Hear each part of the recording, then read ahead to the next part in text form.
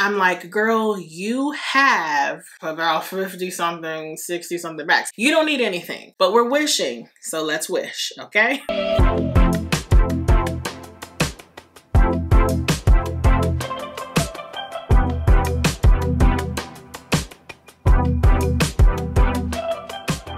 Hi guys, welcome back to my channel. In today's video, I'm going to be sharing my luxury wish list for 2024. Because why is it 2024? I'm not sure. Maybe that rhymed. but I do love sharing these videos every year just because I think they're fun. I also love watching them just to see what's on others' radar because it helps me plan the purchases that I'll be making. So if you guys would like to see all the luxury that hopefully I will acquire that's on my radar, then please keep watching. Okay, so I always like to start these videos, well recently, by saying I use these videos kind of as a guide to guide my purchases, but over the past few years, I've kind of withdrawn from like wanting to consume so much luxury. I also no longer do like large luxury hauls because that's just not the content that I feel comfortable sharing. And I in the most humble way possible. I don't need anything. So um, I still think it's fun to write a wish list. Now, if you've watched these videos in recent years, you know that I don't stick to this. I am greatly influenced by the people that I watch. Sometimes one of my favorites might share something and I'm like, you know what? I loved that bag five years ago. I need it. This is just a loose wish list of things that are on my radar that I hope to acquire this year. But honestly, like, I just got a few back. I don't need anything, okay? So this truly is a wish list. Um, Usually when I look back at my wish list from years prior, I get two things off of there because that's just, I don't know, maybe it's just me, I'm not sure. Do y'all stick to your wish list? Let me know because I certainly do not. But without further ado, let's get into this list. Don't forget to like, comment, subscribe. Let me know down below if any of these items are on your wish list or if you have them or if you're into them or not. I'm always open to hear your thoughts and opinions. Okay. I'm gonna take everything off of this list that you've already seen on a previous year's wish list because like I said, I don't tend to buy just what is on the wish list, but I also don't wanna just repeat the same things every year. The first item on my wish list is a Bottega Veneta Mini Jodie in patent. Now you all know the Mini Jodie is one of my favorite mini bags ever. I have it in the color Elephant, I believe, which is a beautiful gray. And then I also have it in the shade Ribbon which is a beautiful like bubblegum pink. I love this bag so much. It's perfect, it's beautiful, it's vintage-esque in the Intrecciato leather. It's super expensive to be so small. I should also note that I really only shop pre-loved. If I am purchasing a bag with my money, I'm not marching into said store because I'm not paying those prices. Not nothing against those who wish to, but I'm always gonna grab a deal because that's just who I am. So I like pre-loved, even if I'm saving a $100, that could be tax. So yeah, I'm here for pre-owned all the way. So I will probably be getting this bag pre-owned because brand new, they're just way too expensive. I think I'd like this bag. I wanna say there's a pink patent leather, but I have a mini Jodie in pink. So they also have a turquoise and I know maybe I've seen white. So either one of those I would enjoy because I don't have a turquoise bag or a white one. But patent leather is my favorite leather finish. So hopefully I can add another mini Jodie to my collection. Not that I need one, that's the thing. When I start going through this wish list, I'm like, girl, you have about 50 something, 60 something bags. You don't need anything, but we're wishing, so let's wish, okay? The second item is the Dior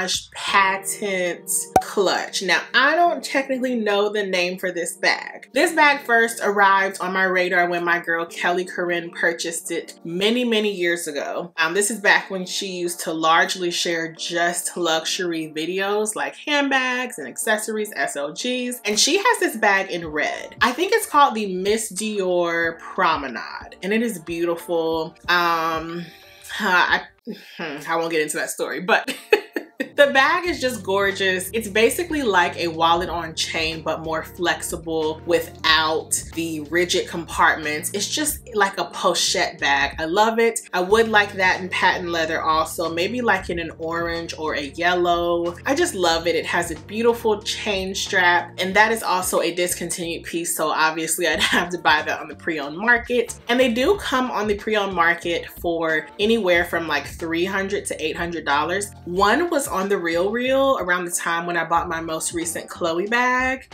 and it was like $350 and I was just like, girl, you're already buying a bag. Do you really need it? See, I really try to be somewhat conservative with my acquisitions, I really do talk myself down off of a lot of ledges and I decided to pass on it. And then when someone bought it, I was hurt. I was. But I would love that bag this year just because it's a fun little throw on and go piece. And I'm not too much a fan of crossbody bags, like a true crossbody bag, but in something like a pouch, I like it with a detachable strap also. I love it. Next, I have the Louis Vuitton Monogram Croissant PM, and I am kicking myself in the shin because I own this bag as a child. I received this bag for Christmas one year. I wanted it so badly. I asked my mom to get it and I got it.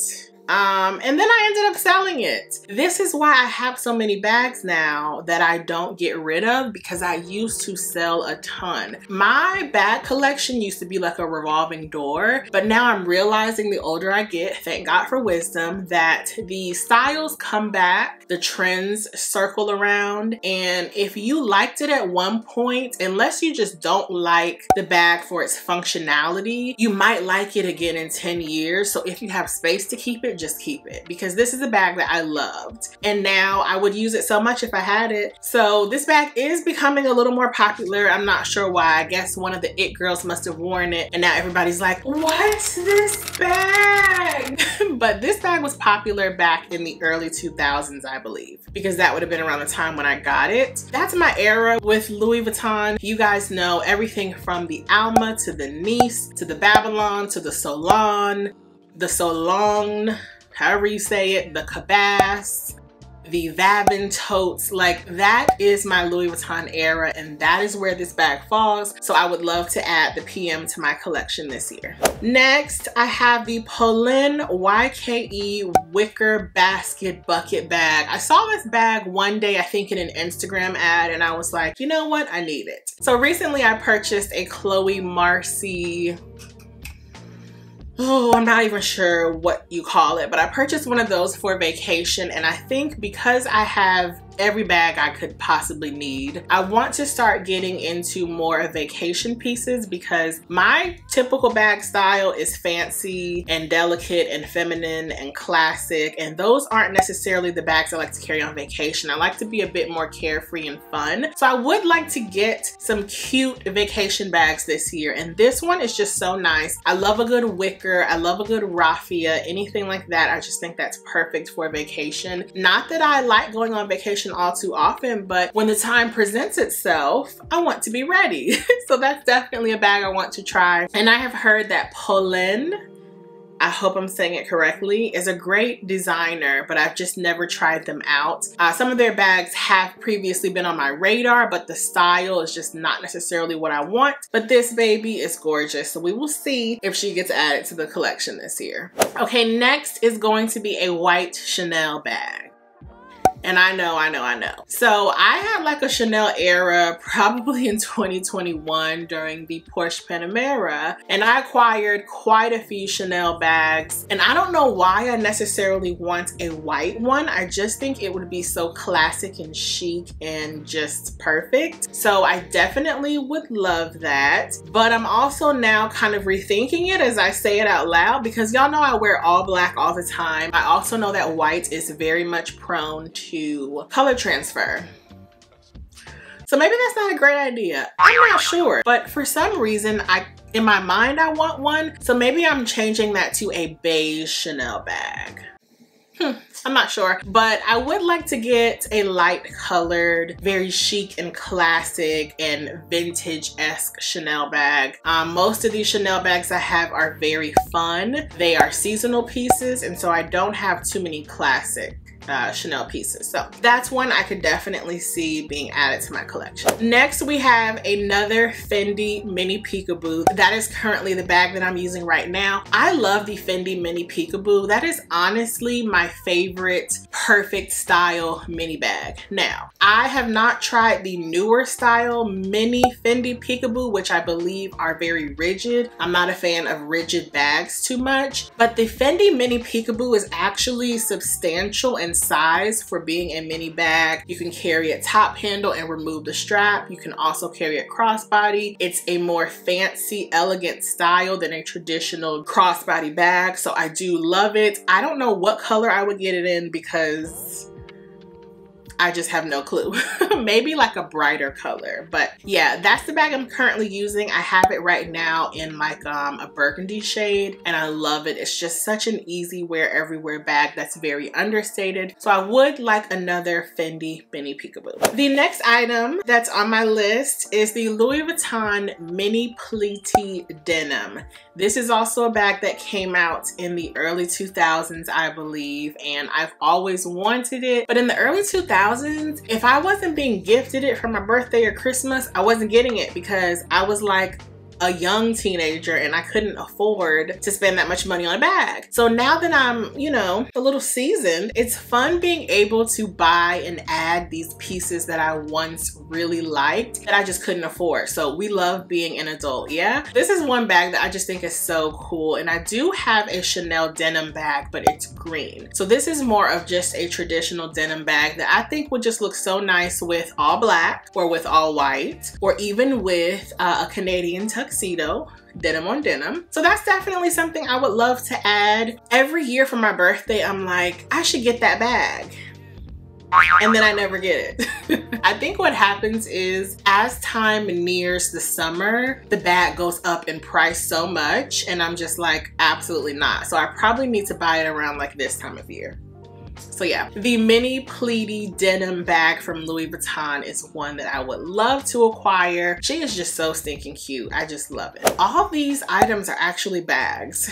so next we have the Louis Vuitton Takashi Murakami Speedy 30. And this is the white multicolor bag that was very popular in, once again, the early 2000s. Largely made popular by Jessica Simpson. This was the era when she had the show Newlyweds on MTV I watched it all the time. I even own the DVDs. And you know, that bag for me it's like, I vacillate with because sometimes I'm like, oh, I loved it back then. Maybe I would like it now. But then I'm like, girl, you only wear black. It would have color transfer and it's just so big. Like I own a Speedy in the Damier Azur, but I only own it still because it's like a classic. I don't wear it.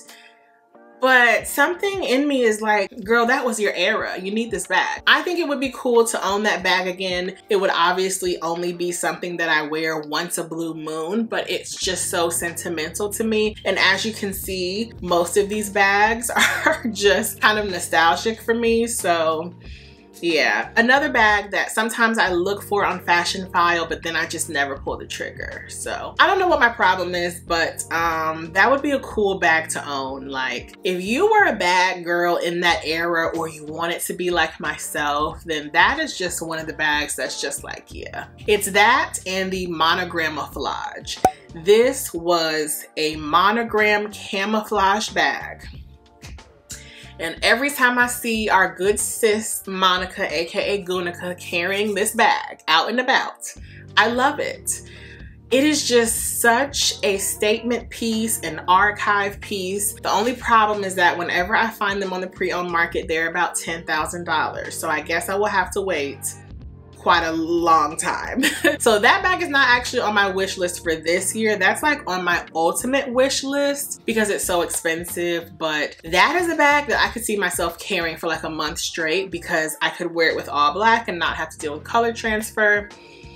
But yeah, that was like my era with Louis Vuitton. So we love her. And the last item on my wish list, here we are, is the YSL Pyramid Bag. And I wanna say Pockets and Bows was the first person I saw with this bag. It basically looks like a triangular pyramid on a long strap that you uh, hand Thank you, Carry It Handheld. It's just so cute. It's such a statement piece. Uh, as you can see with the items on my wish list, there are no real like everyday bags because I have everyday bags in my collection. I'm really focused now on getting era pieces that I loved 20 years ago. But this pyramid bag is just so fun and I think it would make such a statement. I don't know what color I would want it in, probably black, but it just is so cute. And I know I've heard that the leather is very, very soft and it gets scratched easily, but like if you're a bag collector, you need a few pieces that are just so ridiculous that are not functional, but just so cute and such a statement piece. So yeah, hopefully I will get to acquire a pyramid bag this year. I don't even know if that's what it's called, but that's what I call it. So the YSL pyramid bag. I just think that would be so fun. So yeah, guys, that's basically everything on my wish list. Once again, this is a very loose wish list because if I don't get any handbags this year, I'll be content, but a girl can wish, right? we like that. So hope you guys enjoyed this video. I just think these wish list uh, videos are so fun. But just to be honest, I'll probably only get two of these items this year because that's just how I roll. I love you guys so much for watching. Thank you for watching and I will see you in the next video. Bye.